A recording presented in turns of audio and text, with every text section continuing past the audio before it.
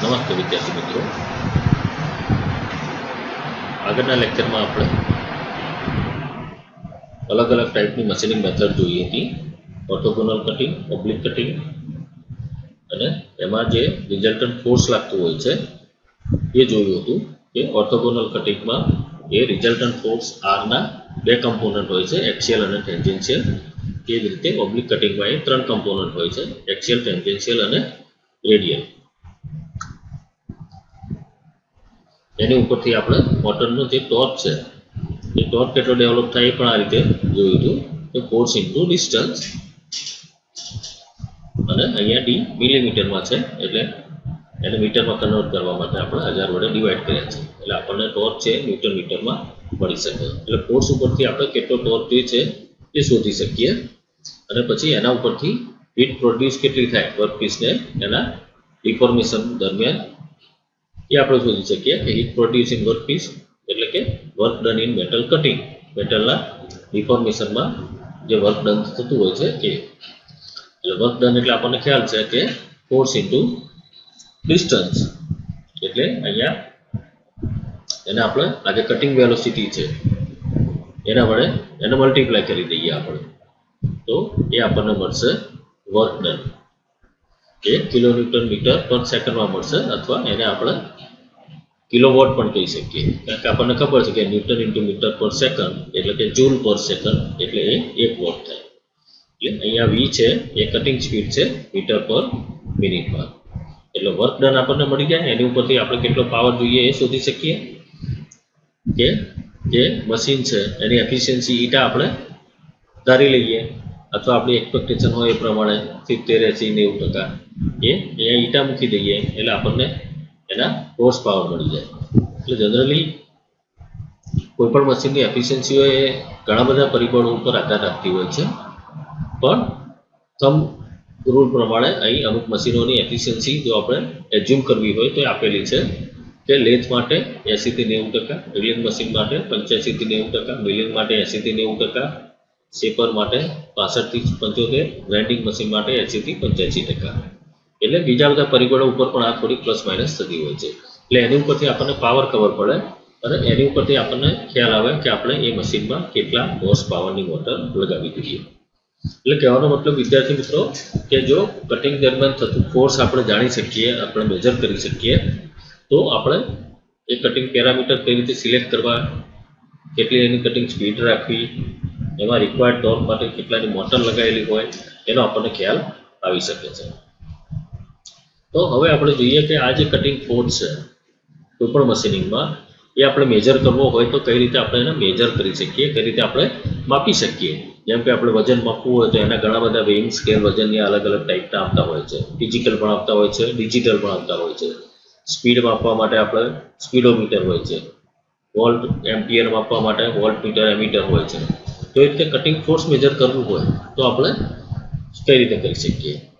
તો ત્રણ બેઝિક પ્રિન્સિપલના આધાર ઉપર કટિંગ ફોર્સ મેજર થાય કે પહેલું છે કે ફોર્સના લીધે જે કંઈ ઇલાસ્ટિક રિફ્લેક્શન લાગતું હોય બોડીમાં એ ઇલાસ્ટિક રિફ્લેક્શન જે કંઈ થાય ફોર્સ લાગે એટલે એ ફોર્સના પ્રપોર્શનમાં હોય, સમપ્રમાણમાં હોય. એટલે જો ઇલાસ્ટિક ડિફ્લેક્શનને તમે મેજર કરી શકો, તો ઇનડાયરેક્ટલી તમે એને કેલિબ્રેટ કરીને કટિંગ ફોર્સ પણ મેજર કરી શકો. બીજું છે મેજરમેન્ટ ઓફ ઇલાસ્ટિક ડિફોર્મેશન એમ. રિફ્લેક્શનની જેમ જ ફોર્સથી જે ઇલાસ્ટિક ડિફોર્મેશન થતું હોય બોડીનું અને એનાથી જે સ્ટ્રેન પ્રોડ્યુસ થતો હોય, એ સ્ટ્રેન જો આપણે મેજર કરી શકીએ, તો એને પણ આપણે ફોર્સ એટલે કે બળ સાથે કોરિલેટ કરી શકીએ છીએ. એ જ રીતે કોઈ પણ જગ્યાએ ફોર્સ લાગતું હોય તો એનાથી જે તે કમ્પોનન્ટ બોડી ઉપર પ્રેશર લાગતું હોય છે. એટલે એ પ્રેશર જો તમે માપી શકતા હો કોઈ ટેકનોલોજીથી કોઈ પ્રિન્સિપલથી તો એને પણ અલ્ટિમેટલી તમે ફોર્સ સાથે કોરિલેટ કરી શકો છો. એટલે ટૂંકમાં ફોર્સ મેજરમેન્ટ કરવાનું ઇન્સ્ટ્રુમેન્ટ છે. બેઝિકલી આ ત્રણ બેઝિક ટેકનોલોજી પર ડિપેન્ડન્ટ હોઈ શકે છે. પછી એમાં આપણે એ જોવું પડે કે ફોર્સ ક્યાં કઈ જગ્યાએ મેજર કરવાનું છે. એના અનુલક્ષીને આ જે ટેકનોલોજી છે એ આપણે પ્લસ માઇનસ કરી શકીએ અથવા બદલી શકીએ છીએ. તો મશીનિંગમાં જનરલી આપણે ફોર્સ મેજરમેન્ટ કરવા જે ઇન્સ્ટ્રુમેન્ટ વાપરીશું, એને આપણે કહીશું ડાયનોમીટર્સ ઓકે ડાયનોમો ડાયનામોમીટર છે એ એક એવું ઇન્સ્ટ્રુમેન્ટ છે કે જેનાથી આપણે કટિંગ ફોર્સ છે એ મેજર કરી શકીએ છીએ. તો ઘણા અલગ અલગ ટાઈપના ડાયનોમીટર્સ હોય છે. એમાં અમુક ડાયનોમીટર્સ હોય છે એ મિકેનિકલ ડાયલ ગેસ ટાઈપ હોય છે. અમુક ડાયનોમીટર છે એ ટ્રેન ગેસ ટાઈપ ડાયનોમીટર હોય છે. અમુક છે એ ન્યુમેટિક કે હાઇડ્રોલિક ટાઈપ ડાયનોમીટર હોય છે.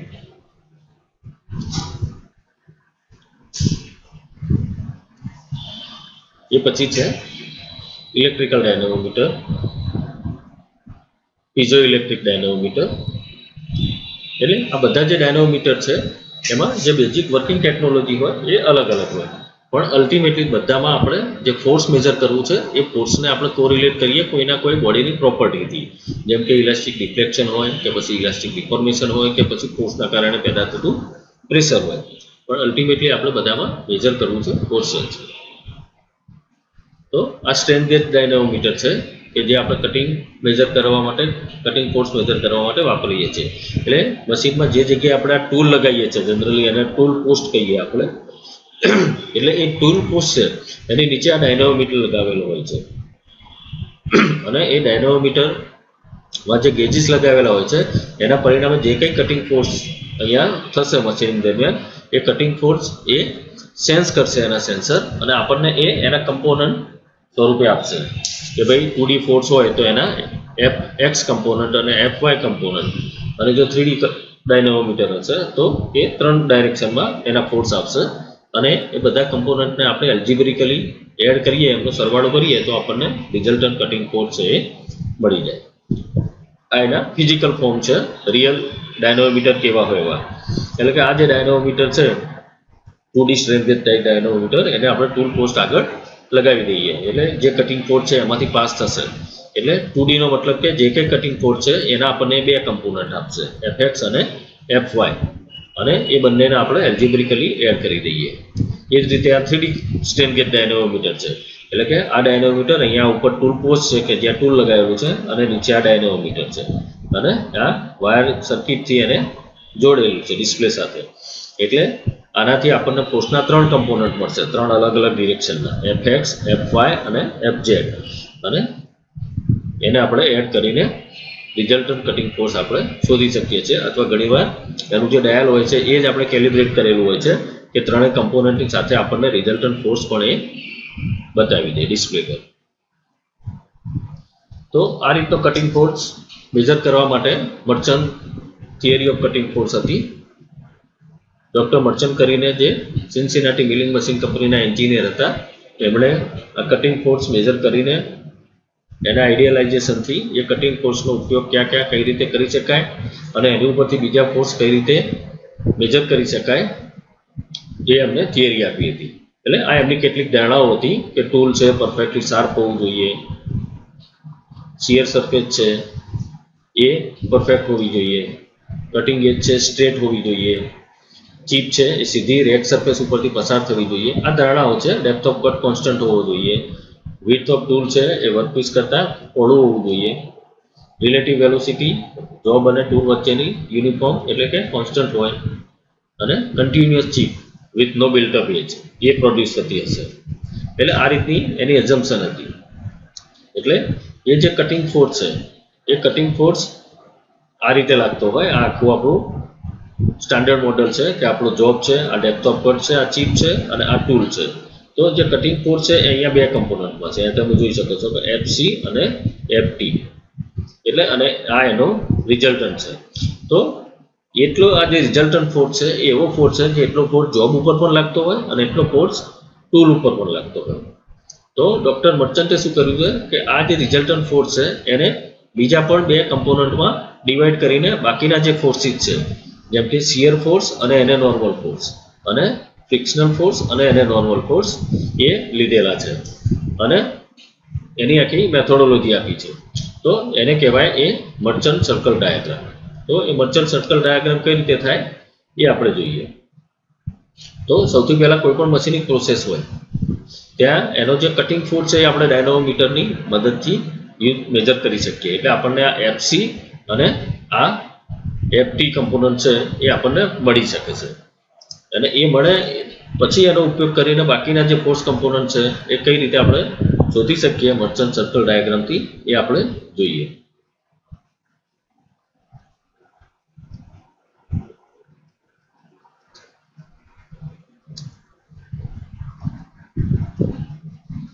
એટલે એના માટે આપણે એક એક્સવાય લેબલ લેવાનું, જેમ આપણે ગ્રાફ કે આલેખ ડ્રો કરતા હોઈએ એ રીતે તો એક્સ એક્સિસ અને વાય એક્સિસ આપણે લઈશું. પછી એની ઉપર આપણે ફોર્સ માટેનો પ્રોપર સ્કેલ લઈશું. સ્કેલ એટલે આપણને ખ્યાલ છે કે એક મિલીમીટર બરાબર કેટલા ન્યૂટન? એ પ્રમાણેનો આપણે સ્કેલ લેવો પડે. જેથી કરીને જે કંઈ ફોર્સ હોય, બળ હોય, એને આપણે એ ગ્રાફ પેપર ઉપર વ્યવસ્થિત રિપ્રેઝન્ટ કરી શકીએ, રજૂ કરી શકીએ. એટલે એ રીતનો ગ્રાફ લઈ લઈશું કે ભાઈ એક મિલીમીટર બરાબર આટલા ન્યૂટનનો આપણો ફોર્સ પછી જે કટિંગ ફોર્સ છે, એ આપણે આ રીતે અહીંયા મેજર કરીશું અહીંયા જે આ લાલ લાઈન છે, એ આપણો કટિંગ ફોર્સ એફસી છે. અને આ જે કટિંગ ફોર્સ છે, એની વેલ્યુ અને તેને લંબ, એટલે કે એફટીની વેલ્યુ એ આપણને ડાયનોમીટરની મદદથી મળે. કોઈ પણ મશીનિંગ હોય, એની ઉપર આપણે આગળ જોયું એ પ્રમાણે ટુ કે થ્રી ડાયનોમીટર માઉન્ટ કરી દઈએ, તો એની ઉપરથી આપણને આ કટિંગ ફોર્સ જે છે, એ મળી શકતા હોય છે. એટલે એની વેલ્યુ આપણી જોડે હોય છે. એટલે એ જે વેલ્યુ મળી એને આપણે સ્કેલ પ્રમાણે અહીંયા રિપ્રેઝન્ટ કરી એટલે આ થયો આપણો કટિંગ ફોર્સ એફસી એ પછી એને પરપેન્ડિક્યુલર જે થ્રસ્ટ ફોર્સ આપણે કહીએ, એ થ્રસ્ટ ફોર્સને આપણે એને પરપેન્ડિક્યુલર આ રીતે અહીંયા બતાવીશું. એટલે આ થઈ ગયો થ્રસ્ટ ફોર્સ એટલે આ બંનેનું જે સમેશન છે, આનો જે રિઝલ્ટન્ટ છે, અહીંયાથી લઈને અહીંયા સુધી એ થશે આપણો રિઝલ્ટન્ટ ફોર્સ આર એટલે એ આરને આપણે અહીંયા આ રીતે બતાવી શકીએ. ત્યાં થઈ ગયો આપણો રિઝલ્ટન્ટ ફોર્સ એટલે હવે આ જે રિઝલ્ટન્ટ ફોર્સ મળી ગયો, એની મદદથી ડૉક્ટર મર્ચન્ટે શું કર્યું હતું કે, આ જ રિઝલ્ટન્ટ ફોર્સ આરને અલગ અલગ મ્યુચ્યુઅલી પરપેન્ડિક્યુલર પ્લેન ઉપર, એટલે કે સમતલ ઉપર એણે રિઝોલ્વ કર્યા હતા. એટલે જે બીજા ફોર્સના કમ્પોનન્ટ છે, એ પણ આપણને મળી શકે. તો એના માટે એમણે પહેલાં શું કર્યું કે આ જે આર છે, એને વ્યાસ તરીકે લઈને, એને ડાયામીટર તરીકે લઈને એક આમ સર્કલ ડ્રો કર્યું. એ આ રીતે. જે પિંક કલરનું દેખાય છે, એ રીતનું એક સર્કલ એમણે ડ્રો કર્યું આ રીતનું, કે જેનો વ્યાસ છે એ આ રિઝલ્ટન્ટ ફોર્સ આર જેટલો છે. એ પછી ઉપર કટિંગ ટૂલ આપણે અહીંયા બતાવીશું કે એના નિશ્ચિત જે ફિક્સ કરેલો રેક એંગલ હશે વર્ટિકલ સાથે એટલા એંગલે એટલે અહીંયા આપણે આ કટિંગ ટૂલની એજ બતાવી દીધી. એટલે આ એંગલ આલ્ફા છે, આપણે આગળ જોયું એ પ્રમાણે એનો રેક એંગલ છે. એટલે હવે આ જે ફોર્સ આર છે, એને આપણે બે કમ્પોનન્ટ લઈશું. કેવા? કે એક આ જે ટૂલની રેક સરફેસ છે, એને પેરેલલ એટલે કે એને સમાંતર, અને બીજો એને પરપેન્ડિક્યુલર તો એ જે ફ્રિક્શનલ ફોર્સ છે, એ આપણે અહીંયા ડ્રો કર્યો જો આ રેક સરફેસને પેરેલલ આ જે ડ્રો કર્યો, એટલે આ ફ્રિક્શનલ ફોર્સ છે. અને જે આપણને ખબર છે કે ટૂલ ઉપર ચીપ અહીંથી આમ પાસ થશે, એટલે ચીપ ઉપર પાસ થતી હોય, એટલે એને લીધે ટૂલની રેક સરફેસ ઉપર જે ફ્રિક્શન લાગે છે, એ એનાથી વિરુદ્ધ ડિરેક્શનમાં એટલે કે આ ડિરેક્શનમાં લાગશે. અને બીજો આવશે એને નોર્મલ કમ્પોનન્ટ એ આ નોર્મલ ફોર્સ ફ્રિક્શનલ ફોર્સ ને નોર્મલ ફોર્સ એટલે એનો એંગલ બીટા પણ આપણે હવે અહીંયા બતાવી શકીએ છીએ કે આ જે છે, એ ફ્રિક્શન એંગલ બીટા છે. ફ્રિક્શન એંગલ બીટા એટલે કે આ એંગલની વેલ્યુ આપણે જાણતા હોઈએ તો આપણે ચીપ અને ટૂલની રેક સરફેસ વચ્ચે જે ફ્રિક્શનનો કોએફિશિયન્ટ હશે, એને આપણે કહીએ કે coefficient of friction between tool rake surface and chip surface એ શોધી શકીએ છીએ મ્યુ જેને આપણે કહીએ, તો મ્યુ બરાબર ટેન બીટા આ ફ્રિક્શન એંગલ આપણને ખ્યાલ હોય તો ડાયરેક્ટ આપણે મ્યુની વેલ્યુ મળી જતા હોય છે ટૂલ અને ચીપ માટે. કે mu equal to tan beta એટલે આ રિઝલ્ટ બહુ સારો હતો, એને આપણે આ બે કમ્પોનન્ટમાં આપણે ડિવાઈડ કર્યો. એટલે એનો મતલબ કે આ જ રિઝલ્ટન્ટ ફોર્સથી આપણને ફ્રિક્શનલ ફોર્સ અને એને નોર્મલ ફોર્સ પણ મળી શકે છે. એ સિવાય આરને આપણે બીજી રીતે પણ ડિવાઈડ કરી શકીએ કે એક કમ્પોનન્ટ છે, એ જે શિયર પ્લેન છે એંગલ ફાઈ આગળ. એ શિયર પ્લેનને પેરેલલ એટલે કે એફ એસ એટલે આને આપણે કહીશું શિયર ફોર્સ એટલે આની ઉપરથી આપણને કટિંગ દરમિયાન મશીનિંગ દરમિયાન મટીરિયલ ઉપર કેટલું શિયર ફોર્સ લાગે છે, એ પણ ખ્યાલ પડી જશે. પણ એના માટે આ શિયર એંગલ જે છે ફાય એની વેલ્યુ આપણે પ્રેક્ટિકલી એક્સપેરિમેન્ટ કરીને શોધવી પડે. એટલે આ કમ્પોનન્ટ થયો એફ એસ શિયર ફોર્સ અને બીજો આવશે એને normal component F N shear ફોર્સને normal એટલે એ આવશે આ રીતે અહીંયા. એટલે એનો નોર્મલ કમ્પોનન્ટનો આ ફોર્સ પણ મળી જશે. એટલે કે એક જ જે કમ્પોનન્ટ હતો રિઝલ્ટન્ટ ફોર્સનો આર કે જે આપણે એક્સિડેન્ટલી આ કટિંગ ફોર્સ એફસી અને થ્રસ્ટ ફોર્સ એફટી કે જે આપણે ડાયનોમીટરની મદદથી શોધ્યો હતો, એ રિઝલ્ટન્ટ આરની મદદથી આપણે બાકીના જે આ ચાર ફોર્સ કમ્પોનન્ટ છે, એ પણ શોધી શકીએ છીએ. આ રીતનો સર્કલ ડાયાગ્રામ બનાવીને. તો આ જે સર્કલ ડાયાગ્રામ છે, એને કહેવાય મર્ચન્ટ સર્કલ ડાયાગ્રામ અને આનો ઉપયોગ કરીને પછી આગળ આપણે ગ્રાફિકલી અથવા એનાલિટિકલી અલગ અલગ ફોર્સની જે વેલ્યુ છે કે અલગ અલગ જે એંગલ છે ફ્રિક્શન એંગલ બીટા છે, અથવા તો શિયર એંગલ પાય છે, અથવા તો રેક એંગલ આલ્ફા છે, એ શોધી શકીએ છીએ અને એ આપણને આગળ મદદરૂપ થઈ શકે છે. એટલે આની ઉપરથી હવે આપણે મેં કહ્યું એ પ્રમાણે જેમ એફસી અને એફટી મળ્યા, તો બાકીના એફએસ કેટલું છે? એફએમ કમ્પોનન્ટ કેટલો છે? આ ફ્રિક્શનલ ફોર્સ કેટલો છે? એમ કેટલો છે? એ બધું પણ આપણે શોધી શકીએ છીએ. પણ હાલ એટલું ડિટેલમાં આપણે સિલેબસમાં નથી, એટલે આપણે એ નથી હાલ જોતા અહીંયા. બાકી એ પણ આખું એનું ડેરિવેશન આ રીતે આપણે જોઈ શકીએ છીએ કે આગળના બીજા બધા ફોર્સિસ કઈ રીતે થતા હોય છે કામ. પણ તમારા સિલેબસમાં એ નથી. હાલ પૂરતું આપણે એટલું શીખવાનું કે કટિંગ ફોર્સ છે એ ડાયનોમીટરથી મેજર થાય. અને ડાયનોમીટરથી આ જે બે કમ્પોનન્ટ મળે એફસી અને એફટી એના ઉપરથી આપણને રિઝલ્ટન્ટ મળે. અને એ રિઝલ્ટન્ટ છે એને બાકીની બે રીતે રિઝોલ્વ કરીએ કે ટૂલની પેર રેડ સરફેસને પેરેલલ અને પરપેન્ડિક્યુલર તો આપણને આ ફ્રિક્શનલ ફોર્સ અને એને નોર્મલ ફોર્સ મળે વધતા આ ફ્રિક્શનલ એંગલ મળે અને બીજી રીત છે આને રિઝોલ્વ કરવાની પેરેલલ ટુ શિયર પ્લેન વાય એંગલ અને એને પરપેન્ડિક્યુલર આ જે બ્લુ લાઇનના ફોર્સ છે એ. તો એની ઉપરથી આપણને શિયર ફોર્સ અને એને નોર્મલ ફોર્સ એ પણ આપણને મળી શકે. કારણ કે આખે આખું આ જે ગ્રાફ છે એ આપણે એક પ્રોપર સ્કેલ પ્રમાણે ડ્રો કર્યું છે. એટલે અહીંથી ડાયરેક્ટ આ બધા ફોર્સની અને એંગલની આપણને વેલ્યુ સીધી મળી જતી હોય છે. અને એનો ઉપયોગ આપણે આગળના એનાલિસિસમાં કરી શકતા હોઈએ છીએ. તો વિદ્યાર્થી મિત્રો, આજે આપણે અહીં સુધી અટકીશું નેક્સ્ટ ટાઈમમાં આપણે અહીંથી આગળ વધીશું. જય સ્વામિનારાયણ.